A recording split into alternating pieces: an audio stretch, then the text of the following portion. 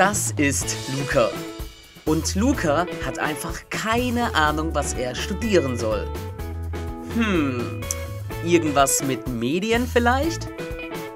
Nach langem Suchen findet er den Studiengang Medienmanagement an der Hochschule in Würzburg. Im vierten Stock entdeckt Luca eine Gruppe Medienmanagement-Studenten. Sie zeigen ihm, wie man einen Blog erstellt und Social Media Accounts managt. Luca begleitet sie zur nächsten Vorlesung. BWL steht an. Danach besucht Luca Patrick im Tonstudio des Hochschulmedienzentrums. Dort ist auch das FH-Radio, wo Mali gerade live auf Sendung ist.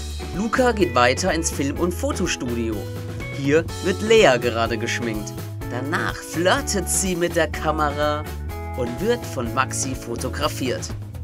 Es geht weiter in die Regie zu Luisa und Emily. Vom Greenscreen bis hin zu Hightech-Kameras ist einfach alles vorhanden.